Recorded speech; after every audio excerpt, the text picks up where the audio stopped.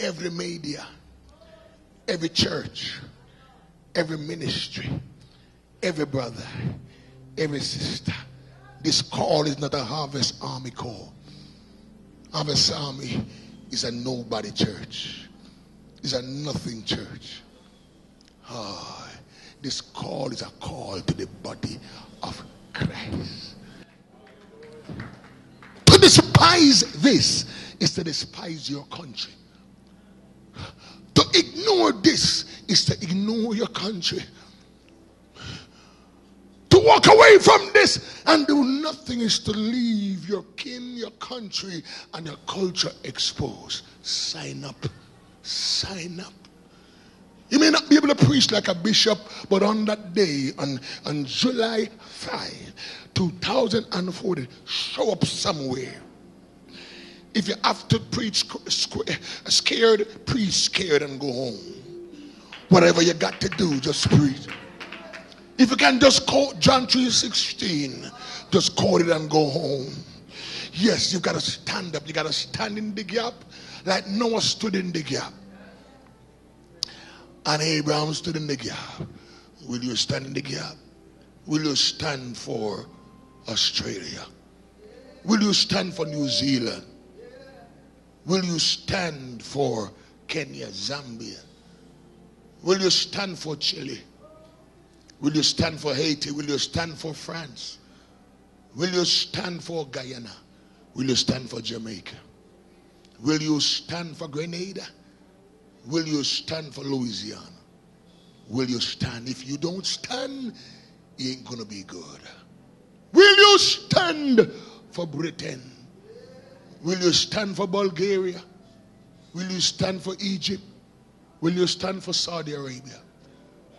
Those Middle East countries, Saudi Arabia, Malaysia, United Arab Emirates, those three countries, you are in our top 10 viewers worldwide. Listen, these three Arabian countries, Islamic countries, is in our top 10 viewership of nearly 300 countries been viewing top 10 number five number six number seven most of the time these countries they don't even have churches you don't have churches in those countries you go to jail but they're in the top 10. God bless you. God bless you. God bless you. On July 5, 2004, go out there. Go out there, young man that's watching from those countries and preach a little bit and go home. Just preach a little bit and go home. Just a little bit and go home.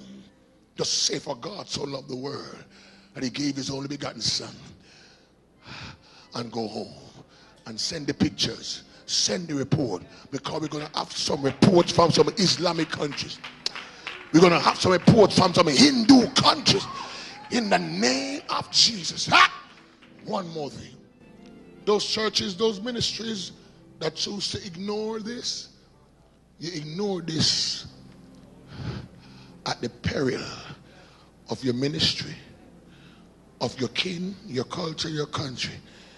It's a mistake. Don't, don't go put on some great event on July 5 and miss this.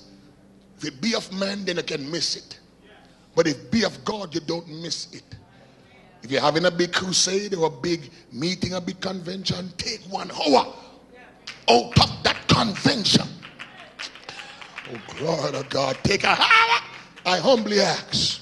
I humbly take a hour from that convention on July 5 and go downtown, go on the street, go in your neighborhood, and just give out some tracts. Invite people to your church. They're going to get the benefit. You're going to get the benefit. Just go and preach the gospel. Somebody said World Vision Day.